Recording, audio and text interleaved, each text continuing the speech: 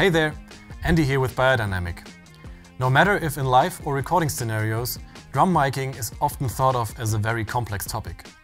In this video, I will show you a basic way to mic up a whole drum kit that will work in almost every situation. If you want to learn more about different microphone options and miking techniques, make sure to check out the following videos of this series giving you an in-depth look at the individual instruments. We prepared a 4-piece kit with a 14-inch snare, a 20-inch kick drum and 10 and 14-inch toms. Let's get started with the snare drum. It's very common to use a top and bottom mic on the snare. While the top microphone features the body and mid-range attack of the snare, the bottom mic brings in the high-frequent definition of the snare wires. We decided to go with the dynamic M201 microphone on top and the small diaphragm condenser TG-D58 as a bottom mic. The frequency responses of these two microphones suit the needs of snare drum miking perfectly. The TG-D58 features more high-end compared to the M201, which is particularly strong in the mid-frequencies.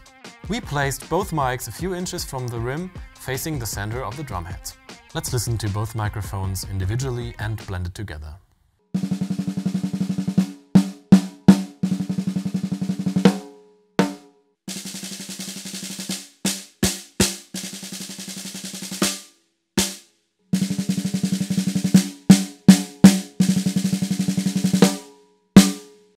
Next up is the bass drum.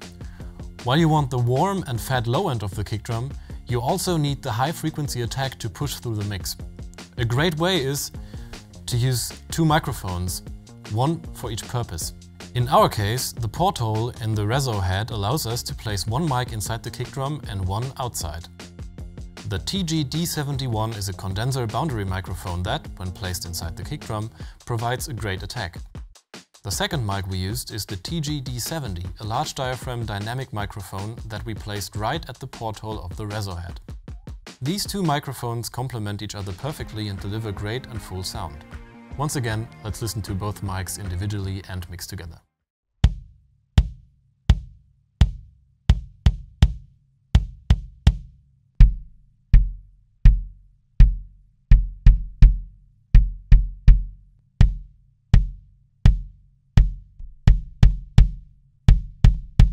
Let's go on with the toms.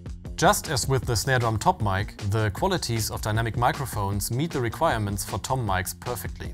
The TG-I51 works great for this, and the MKV87 mic clamp makes placing the mic very easy. Condenser mics like the TG-D57 or TG-D58 also work great for toms.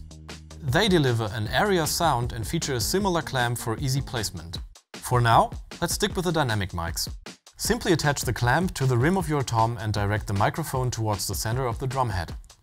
This is what the two toms of our kit sound like.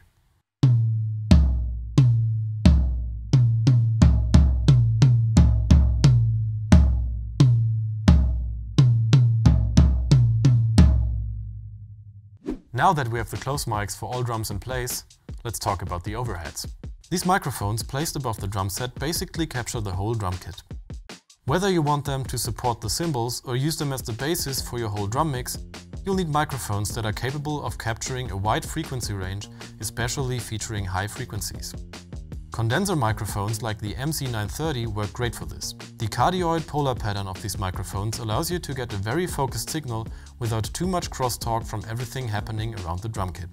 The most used overhead miking position is the spaced pair. The two microphones are placed above the drum kit with an equal distance from the snare drum, in order to provide phase coherency. An easy way to match the distance of both mics is by using a microphone cable. Check out the sound of these two microphones.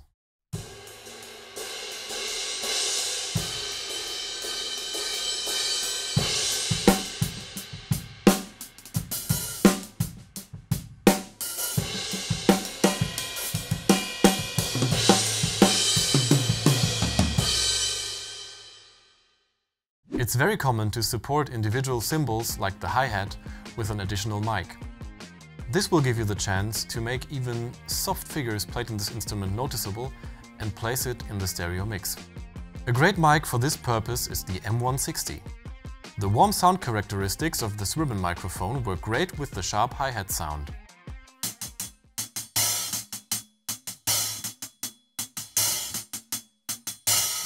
With all microphones in place, it's time to listen to them mixed together.